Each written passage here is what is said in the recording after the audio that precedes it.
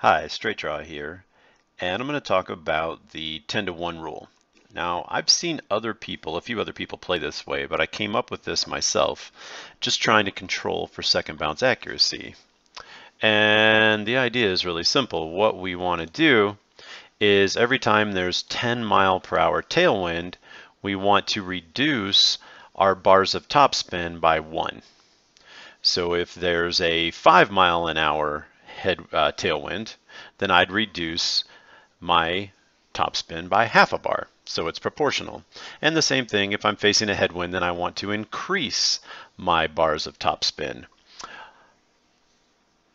Now let me just say what this is for and what it isn't for. So this works really well for wood clubs because I designed it to try to help me get close to the pin on shootouts and tours 7, 8, and 9, where you're almost exclusively using the sniper.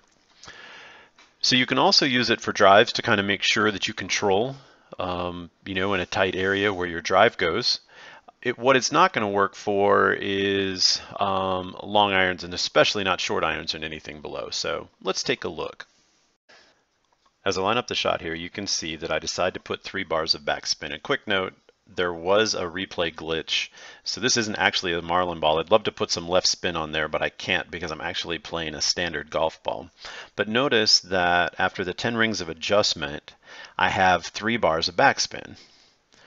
Right, but I have a headwind of about 10 miles an hour. So I want to put one bar of extra backspin, one bar less of backspin right there. You see it go from three down to two.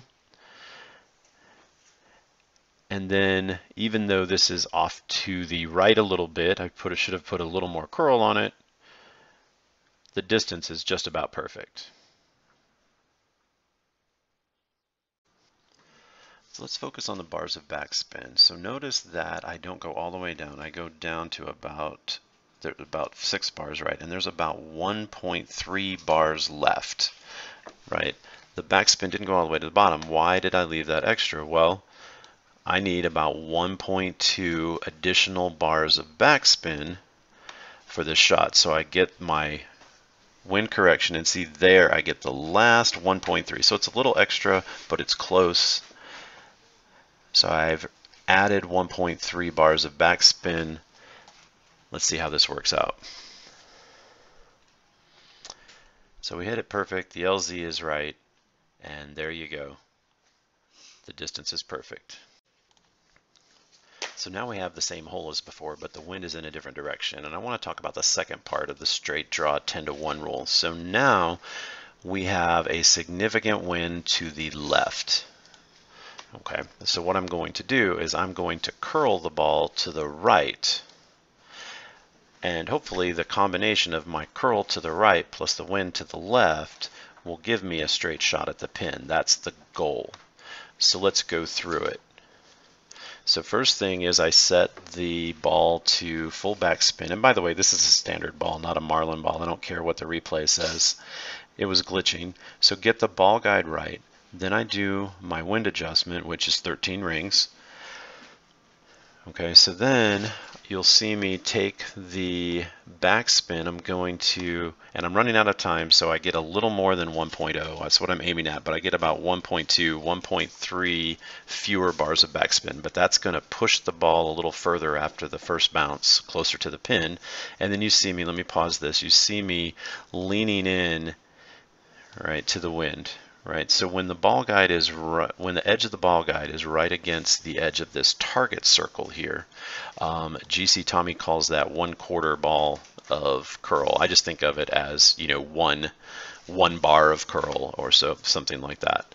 Um, but this is my 10 to 1 rule. If I have a 10 mile an hour wind blowing this way, right, that's 10 miles an hour, then I want to be right at the edge here. And I have to admit that I overcorrect and it's not quite enough, um, but it does give you the idea. I'm kind of leaning into the wind to the right because it's blowing right to left. Got my distance spot on, and yes, I'm over to the left a little bit. So here's an interesting shot where we have a really strong crosswind with almost no headwind. All right, so what we're going to do is we're just going to, we're not going to make any adjustments to the bars of topspin or backspin. What we're going to have to do is we're going to have to lean to the left. We're going to lean to the left so that we make a curl shot.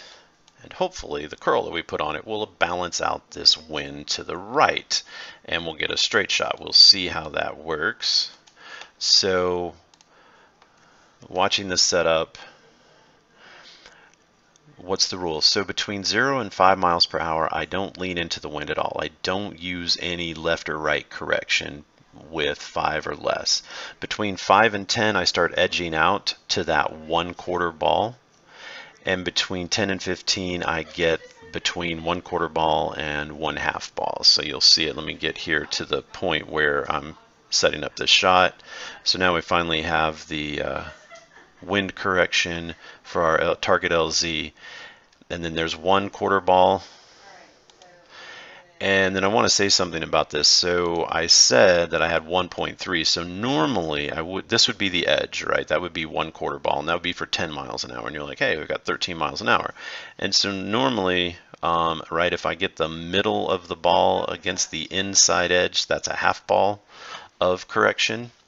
Um, and so normally I would have been a little further out. This more like 1.3, somewhere out here. Okay. But what I want is I want this ball to move a little bit from left to right. So I normally put about a half uh, uh, or an eighth of a ball of curl on it. So what I'm doing is I'm subtracting that out. But the principle still holds the same, that I am going to lean into this um, shot. So here you can see, right, I'm going to lean into this shot. This is if it were 10 miles an hour. Um, but lean into the shot. The distance should be fine. Hit the LZ and roll back to the pin.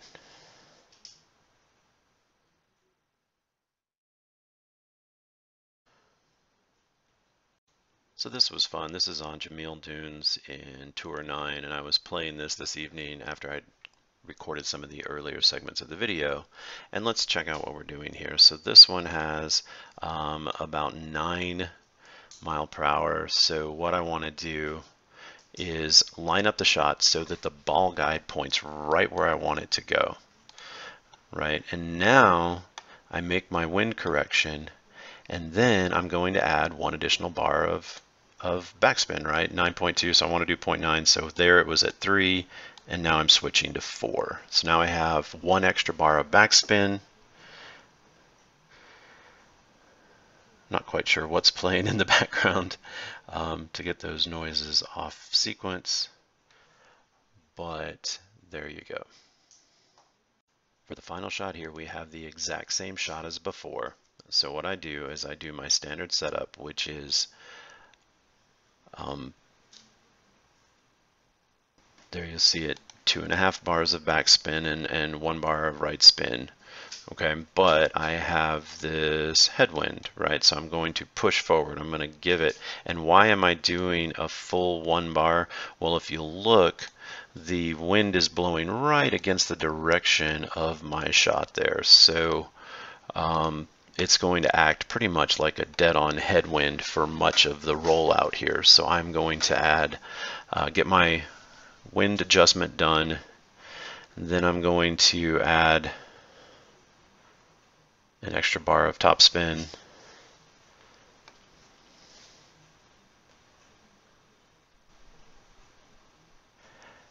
And there you go. That's the straight draw 10 to 1 rule.